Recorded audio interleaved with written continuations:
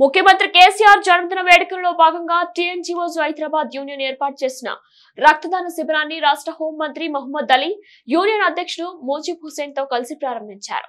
Hyderabad నాంపల్లిలోని గృహకల్పక TNGOs కార్యాలయం ప్రాంగణంలో ఏర్పాటు చేసిన రక్తదాన శిబిరంలో వందలాది మంది ఉద్యోగులు పాల్గొని రక్తదానం చేశారు.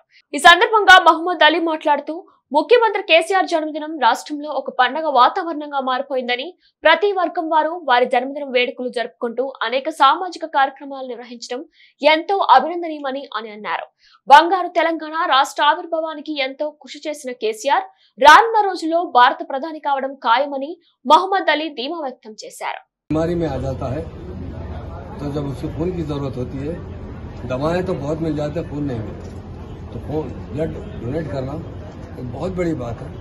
और तमाम डोनर्स का, खासतौर से मैं लड़कियों का, हमारी बहनों का शुक्रिया अदा करता हूँ कि हमारे सीएम साहब के जन्मदिन पर आप लोगों ने खून दे रहे हैं तो खून यकीनन किसी न किसी को बहुत उसकी नई ज़िंदगी देने के लिए काम आता तो यकीनन कल भी काफ़ी लोग बड़े बड़े प्रोग्राम रख रहे हैं।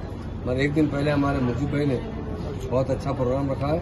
और मैं देखा हूँ यहाँ पर बहुत कॉलेज के गर्ल्स भी बहुत स्टार्टिंग में जो लोग सेक्रीफाइस करते हैं वो ज़िंदगी भर सेक्रीफाइस करते हैं।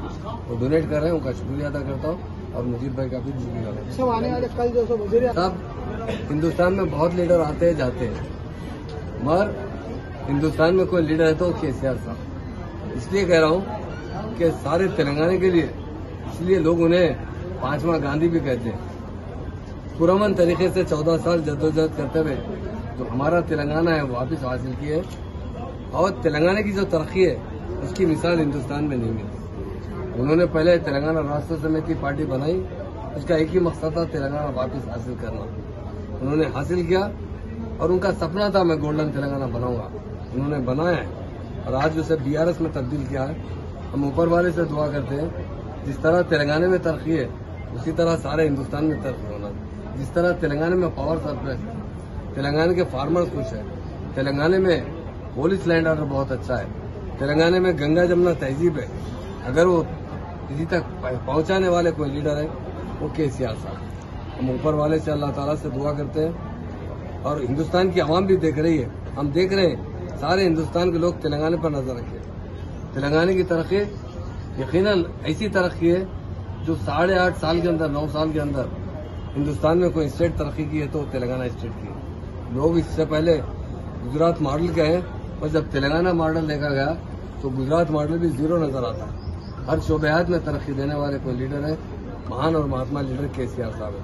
उनका कल जन्मदिन है। सारे लोग बड़ी खुशियों से जन्मदिन मना रहे हैं और ऊपर वाले से हम दुआ भी करते हैं। हमारे सीएम साहब को सेहत और तंदुरुस्ती दे। और हिंदुस्तान की आवाम की आरज़ू है ये उम्र में तो लोग आराम करना चाहते हैं। सीएम साहब हिंदुस्तान को सुधारना चाहते हैं। हिंदुस्तान दिन ब दिन बैकवर्ड होता जा रहा है। हिंदुस्तान की आवाम में नफरत बढ़ती जा रही है। इसे खत्म करने वाले कोई लीडर है, वो के साहब है। डेफिनेट सारा हिंदुस्तान की नज़र तेलंगाना पे है। हमें उम्मीद है, अल्लाह ताला की मदद भी शामिल है आ जाएगी और ज़रूर सीएम साहब, आज सीएम है, कल ज़रूर हिंदुस्तान के पीएम बनेंगे।